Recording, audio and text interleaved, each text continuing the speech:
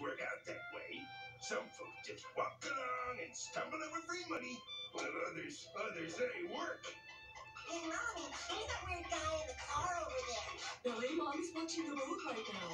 I mean, why couldn't I have just walked along and found it? I have legs too, you know.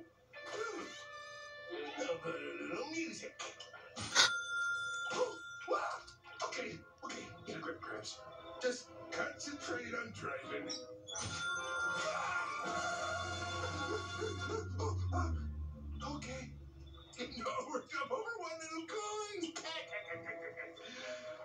Must just be the full moon.